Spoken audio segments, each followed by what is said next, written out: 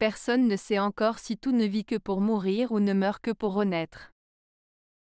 Marguerite Yourcenar Cette citation de Marguerite Yourcenar invite à réfléchir sur le sens de la vie et de la mort. Elle évoque deux hypothèses opposées et fondamentales.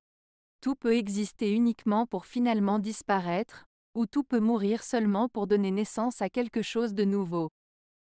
Cela nous invite à réfléchir sur la fragilité de la vie et sur la possibilité qu'elle puisse continuer au-delà de la mort. Cette citation peut nous amener à méditer sur notre place dans l'univers et sur le sens que nous donnons à notre existence.